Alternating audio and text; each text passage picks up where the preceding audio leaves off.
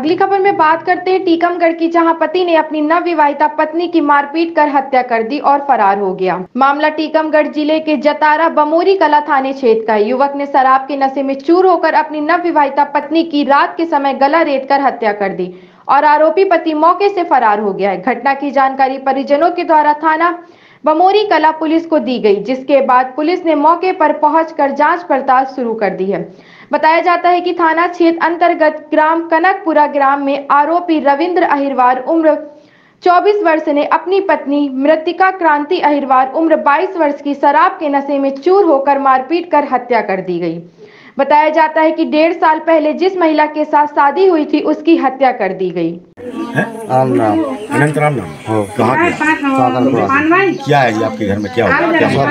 बच्चा ने बहू को मार दिया है। जी आपको मालूम है? हाँ सर कितने बजे मारा? जो सब दो ढाई के लगभग मारो जी लगभग में मारो उसे आप जा, जाग रहे थे नहीं साहब हम एक बजे सुबह देख के वो बच्चा को बतका सुन के पढ़ रहा था सो गए थे हम दोनों। अच्छा उसे आपको आवाज़ आई कि काट रहा है? नहीं नहीं आवाज़ नहीं आई सर। कैसी जानकारी लगी? जानकारी ऐसी लगी कि जो है वो लड़का आया था हम तो बताएँ। और जो है हम तो लड़की काट से वो कोई काट नहीं सकता है। जो हमें विश्वास है लड़की काट सकते हैं। अच्छा अच्छा। हाँ सर। तो आपके लड़के कभी कभी लड़ाई होती थी क्या? उनमें आपस में हो जाती लड़ाई। आप ये आप लोगों से भी होती नहीं हमसे नहीं आपसे नहीं होती। आपके घर से कभी होती नहीं नहीं हमारे घर में नहीं होती कभी। किसी से?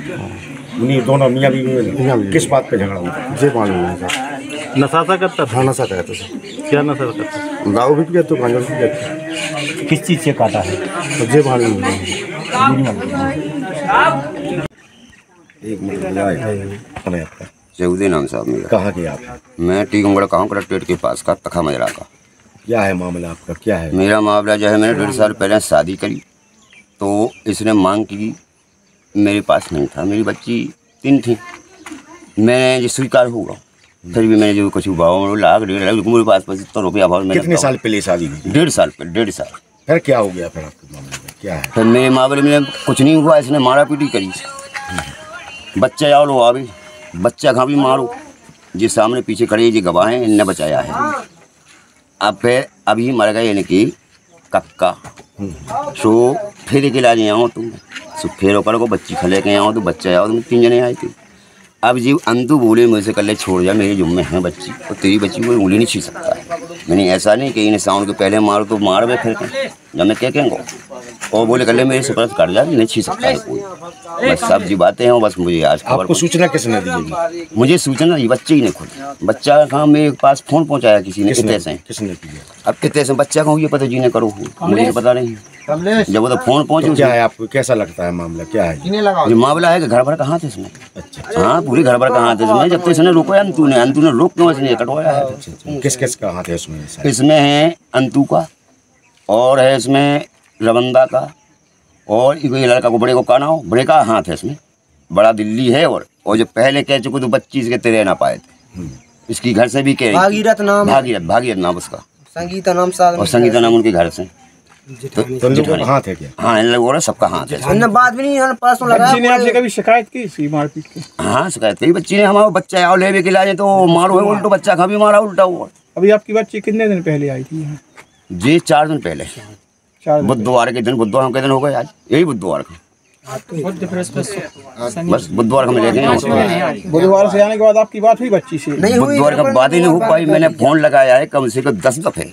वो फ़ोन नहीं स्विच ऑफ़ बतावे की स्विच ऑफ़ बतावे।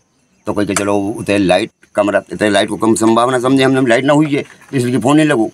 और जब अबे फ़ोन लगा भी खुद सोचे थे अबे। चलो लड़का ने फ़ोन वहाँ से लगा दो बच्ची खत्म हो गई। हम खेतों से रोड़ा से बाकी थाने के पीछे रहता हूँ मैं। अंतर्गत कनकपुरा ग्राम में एक महिला है क्रांति अहिरवार जिसकी मृत्यु की सूचना मिली थी। तो अभी घटनास्थल का निरीक्षण किया है तो यहाँ पे संबंधित भौतिक साक्ष्यों को यहाँ पर जब्त कराया गया है। अभी इन्वेस्टिगेशन जारी है।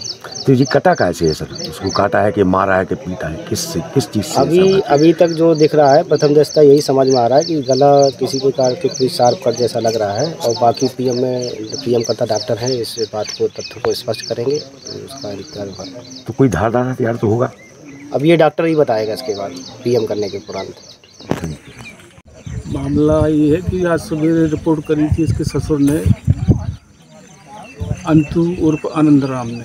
ममोरी थाने में बताया फ़ोन करके कि इसकी बहू कांतिबाई और इसके बेटे रविंद्र रहरवान ने रात में मतलब मार डाला है। तो यहाँ पंचनामा निगरान कार्रवाई हुई है जो कार्रवाई है हो रही है। और इसके बेटे ने उसको मार दिया। ये मारा कैसे है सर? ये माल हथियार मिला देख कोई? लिए अभी हथियार कोई नहीं मिला ऐसा वो जब पकड़ा जाएगा तो पूछते हैं क्या मिलता है। आरोपी फरार है? आरोपी फरार है। सर घटना कितने बजे तक की हो सकती है? ये बारह के बाद ही घटना बारह बजे रात की बात की अभी तक जो पाए।